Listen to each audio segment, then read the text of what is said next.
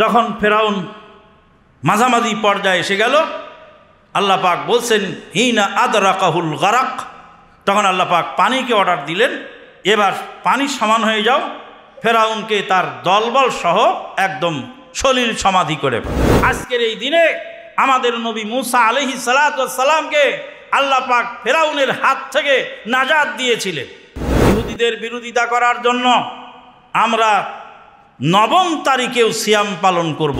এ বারো আনার মেম্বার আর দেড় টাকার চেয়ারম্যান ভোটে জয়যুক্ত হওয়ার পরে ঢোল তবলা বাঁশি কাঁশি তারপরে ব্যান পার্টি নিয়ে রাস্তার মধ্যে নর্তন কুর্দন করে সে চেয়ারম্যানই পাশ করেছে থেকে সুক্রিয়া জানায় আত্মাহারিক টিভি অহির আলোই উদ্ভাসিত জীবনের জন্য এই মহারম মাসেই রয়েছে গুরুত্বপূর্ণ একটি বিষয়, তা হলো আশুরা। আশুরাটা হলো মহারম মাসের দশ তারিখকে আশুরা বলা হয়। মহারম মাসের দশ তারিখ আমাদের করণীয় হলো, প্রথম করণীয় হলো হারাম মাস হিসাবে মহারম মাসকে সম্মান করা। আর দ্বিতীয় করণীয় হলো এই আশুরা মাসের দশ তারিখে, মহরম মাসের দশ তারিখে সিয়াম পালন করা। মহরম মাসের দশ তারিখে সিয়াম পালন করলে এক বছরের গোনা, সগিরা গোনা এক বছরের ক্ষমা হয়ে যায়। বিগত এক বছরের সগিরা গুণা ক্ষমা হয়ে যায়। রমাদান মাস ফরজ হওয়ার আগ পর্যন্ত এই মহারমের সিয়াম ফরজ ছিল। রমাদান মাস পার হয়ে যাওয়ার পরে, ফরজ হয়ে যাওয়ার পরে এই মহারমকে নফল হিসাবে গণ্য করা হয়েছে। রসুল্লাহ সাল্লাহ সাল্লামের সাহাবাই কেরামগণ এই মহারম মাসে আশুরার সিয়াম পালন করতেন, বাচ্চাদেরকে আশুরার সিয়াম পালন করাবার জন্য উদ্বুদ্ধ করতেন। বাচ্চারা যখন ক্ষুধা লেগে কান্না করত, তখন তুলা দিয়ে তাদেরকে খেলনা বানিয়ে দিতেন এবং খেলায় লাগাই দিতেন। তারা খেলায় মশগুল থাকতো, এমতো অবস্থায় সূর্য ডুবে যেত, তারা সিয়াম পালন করতেন। এইভাবে বাচ্চাদেরকে সিয়াম পালনে অভ্যস্ত করাতেন। মহরম মাসের আরেকটি গুরুত্বপূর্ণ বিষয়, সেটা হলো নাজাতে মূসা। মূসা আলিহি সালাতামকে আল্লাহ পাক নাজাদ দিয়েছিলেন এই দিনে আউযু বিল্লাহি মিনাশ শাইতানির রাজিম ওয়াইদ ফারাকনা বিকুমুল বাহরা ফানজাইনাকুম فأنجيناكم وأغرقنا آل فرعون وأنتم تنظرون আল্লাহ পাক বলছেন এই আল্লাহ আকবর বলা হবে না। এটা আল্লাহ আকবর বলাটা হলো মিশরীয় বেদাত। এরা মিশরের এই ভণ্ডকারীরাই বেদাত আবিষ্কার করেছে। দেখেন মক্কার ইমাম সাহেবের কেরাত শুনুন। কি সুন্দর তেলাওয়াত করছেন। কুল্লি এইভাবে সাবলীল ভাষায় কোরআন তেলাওয়াত করতে হবে।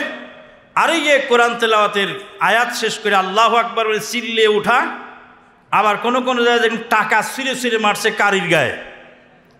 এগুলি সব ভণ্ডামি কেরাত এগুলি পরিহার করতে হবে। সম্মানিত উপস্থিতি, বলছিলাম আল্লাহ পাক বলছেন, যখন তোমাদের জন্য সাগরকে বিদীর্ণ করে দিলাম ওই ফারাক না বিকুমুল বাহারা। আমাদের দেশে লোকেরা বলে থাকেন ফেরাউন ডুবেছিল নীল নদে। আল্লাহ পাক, ওয়াইজ ফারাক না বিকুমুল নাহারা তা বলেননি। আল্লাহ কি বলেছেন? ওয়াইজ ফারাক না বিকুমুল বাহার মানে কি? সাগর না নদী? সাগর, সমুদ্র। ওয়াইজ ফারাক না বিকুমুল বাহারা। তার মানে মুসা সাল্লাম পার হয়েছিলেন, লোহিত সাগরের পাড়ি দিয়েছিলেন। লোহিত সাগরের যেই প্রশস্ত অংশ, সেখানে প্রস্থতায় দুইশো ছাপ্পান্ন কিলোমিটার। দুইশো ছাপ্পান্ন কিলোমিটার হলো প্রস্থ, যেখানে প্রশস্ততা বেশি। আর যেখানে প্রশস্ততা কম, সেখানে ৩৩ কিলোমিটার। একদম সামনের দিকে সরু অংশ যে দেখা যায় ওখানে তেত্রিশ কিলোমিটার। যাই মিশর থেকে মাদিয়ানে আসতেছিলেন মুসা আলিহি সালাতাম যাবেন উত্তর দিকে, কিন্তু রওনা দিলেন পূর্ব দিকে। রাস্তায় দিগ্ভ্রম হয়ে গেল। পূর্ব দিকে রওনা দিয়ে এসে দেখলেন বিশাল লোহিত সাগর। আল্লাহ পাক বললেন, সাগরের উপরে লাঠি দিয়ে বাড়ি দাও। সাগরের উপর লাঠি দিয়ে বাড়ি দেওয়ার সঙ্গে সঙ্গেই বারোটি রাস্তা হয়ে গেল। বারোটা গোত্র ছিল, মুসা আল্লাহ সাল্লামের সঙ্গে বারোটি রাস্তা হয়ে গেল আর পানিগুলি সব দাঁড়ায় গেল।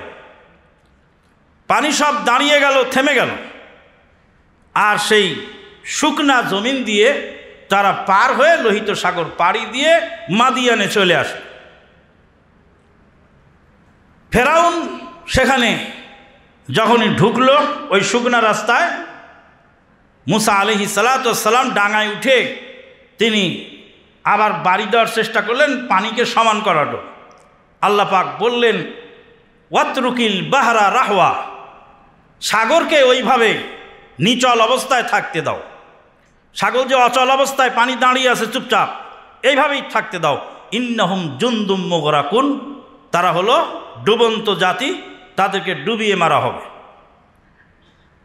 যখন ফেরাউন মাঝামাঝি পর্যায়ে এসে গেল, আল্লাহ পাক বলছেন, হিনা আদরা কাহুল গারাক। তখন আল্লাহ পাক পানিকে অর্ডার দিলেন, এবার পানি সমান হয়ে যাও, ফেরাউনকে তার দলবল সহ একদম সলিল সমাধি করে ফেল। ফেরাউন ডুবে গেল। ডুবার আগে ফেরাউন বলছে, আমান্তু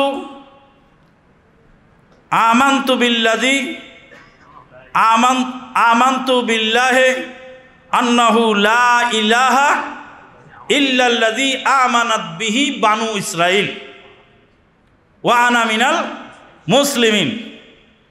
আমি সেই আল্লাহর প্রতি ইমান আনলাম যে আল্লাহর প্রতি বাণী ইসরায়েলের লোকেরা ইমান এনেছে। মানে বিপদের সময় ভেঙে চুরে ভালোভাবে না বললে, তা অনেকে তো এক একজন এক এক ইলাহা মানে। তা আমি কোন ইলাহের উপর ইমান আনব? তা আমি বাণী ইসরায়েলের লোকেরা যে ইলাহের উপর ইমান এনেছে, আমি তার উপর ইমান আনলাম। আল্লাহ পাক বললেন, আল আনা, এখন। ওকাদ আসাইতা কাবলু ওয়া কুন্তা মিনাল তুমি ইতিপূর্বে নাফারমানি করেছ। সমাজে ফাতনা ফাসাদ সৃষ্টি করেছ। যাই হোক, ফেরাউন তার দলবল সহ, হাজার হাজার সোলদার সহ ফেরাউন পানিতে ডুবে সলিল সমাধি হয়ে গেল, লোহিত সাগরের পানিতে ডুবে শেষ হয়ে গেল। মুসা আলহি সালাতাম চলে আসলেন এপারে মাদিয়ানে। ফেরাউনের গদি খালি। গদি দখল করলে যদি ইসলাম কায়েম হয়, তাহলে মুসা আলহি সালাতাম আবার ফেরাউনের গদিতে গিয়ে দখল করলেই হয়ে যেত। কারণ ফেরাউনের দল বলের শক্তিশালী কোনো লোকজন আর পৃথিবীতে বেঁচে ছিল না। ফেরাউনের গদি খালি। এখন খালি গদি দখল করে ইসলাম কায়েম করলেই তো হয়ে যায়। মুসা আলহি সালাতাম আর মিশরে ফেরত গেলেন না। কেন? রেকমত কি? এর হেকমত হলো এই গদি খালি পেলেই হয় না। সাথে থাকা লোকগুলার আকিদা পরিবর্তন না হলে ইসলাম কায়েম হয় না। মুসা আলহি সালাতামের সঙ্গে যেসব লোক ছিল, সেই লোকগুলি তখনও বাসুর পূজা ছাড়তে পারেনি। এই বাসুর পুজো কম দিয়ে ইসলাম কায়েম হয় না। সম্মানিত উপস্থিতি, মুসা আলহি সালাতাম এই দশই মহরমে আল্লাহর শুক্রিয়া তান তাই একটি সিয়াম পালন করলেন। রসুল্লাহ সাল্লাহ সাল্লাম মদিনায় গিয়ে ইহুদিদেরকে দেখলেন। তারা দশই মহরমে সিয়াম পালন করেন। তাদেরকে জিজ্ঞেস করলেন, তোমরা এই সিয়াম পালন করো কারণ কি? তারা বললেন, আমাদের এই সিয়াম পালনের কারণ হলো, আজকে হাজা ইয়ামুন আজিম এই দিনটা হলো মহান দিন। এটা মহান বিজয় দিবস। আজকের এই দিনে আমাদের নবী মুসা আলহি সালাতামকে আল্লাহ পাক ফেরাউনের হাত থেকে নাজাদ দিয়েছিলেন। তাই সুক্রিয়া তান তিনি সিয়াম পালন করেছিলেন। ইহুদিরা আল্লাহ শুক্রিয়া আদায় করে কি দিয়ে? সিয়াম দিয়ে। ইহুদিরা আল্লাহ শুক্রিয়া আদায় করে কি দিয়ে? সিয়াম পালন করে। আর আমাদের দেশের দেড় টাকার চেয়ারম্যান, বারো আনার মেম্বার এই বারো আনার মেম্বার আর দেড় টাকার চেয়ারম্যান ভোটে জয়যুক্ত হওয়ার পরে ঢোল, তবলা, বাঁশি, কাশি, তারপরে ব্যান পার্টি নিয়ে রাস্তার মধ্যে নর্তন কুর্দন করে সে চেয়ারম্যানই পাশ করেছে থেকে সুক্রিয়া জানায়। ওই জন্য ডক্টর আল্লামা ইকবাল বলেছেন, ওয়াজাহ মে হম তো নাসারা, তামাদ্দুন মে হুনুদ এই সে মুসলিমকে তুঝে ইয়াহু তুমি এমন জাতের মুসলমান তোমাকে দেখি ইহুদিল নাসারারও লজ্জা পায় ভয় পায়। ইহুদি নাসারার লজ্জা পায় সম্মানিত উপস্থিতি, এই যে মুসা আলহি সালাতাম নাজাত পেলেন, নাজাত পাওয়ার কারণে আল্লাহ পাক তাকে তিনি সিয়াম পালন করলেন।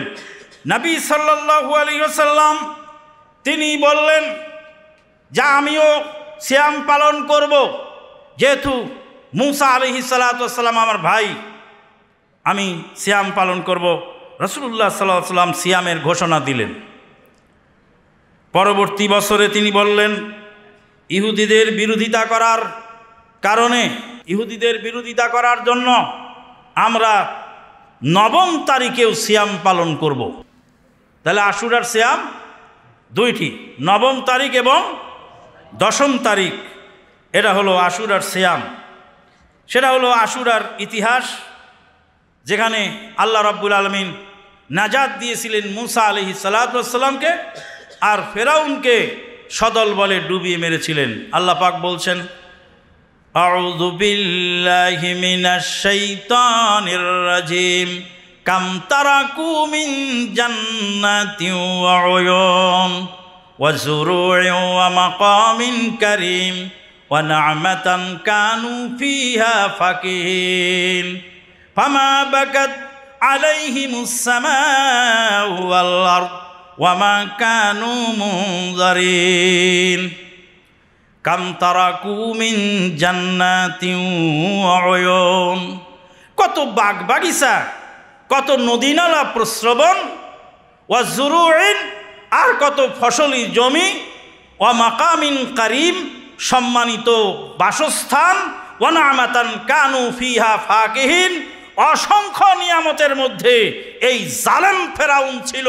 আল্লাহ পাক তাদেরকে সলিল সমাধির মাধ্যমে সমস্ত কিছু সব বিলীন হয়ে গেল, সব শেষ হয়ে গেল। তারা চলে গেলেন আল্লাহ পাকের দরবারে।